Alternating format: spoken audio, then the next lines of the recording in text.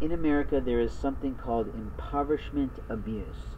For those of you that know me, I'm very passionate and opposed to any form of legitimately defined abuse.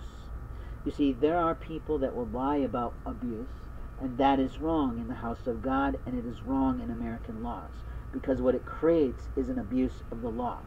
But when it comes to poverty, there are families that will force someone to be impoverished because not only will they steal their resources and steal their time, which is, of course, a resource, but they will always impact and interfere with someone trying to get a job or rebuild a business that was lost.